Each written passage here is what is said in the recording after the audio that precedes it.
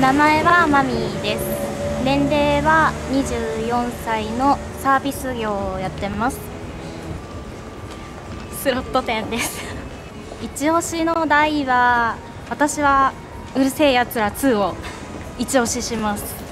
ファッションポイントはファーのマフラーです。はアクセサリー店でジャスティン・デイビス。が一番好きですは帽子です。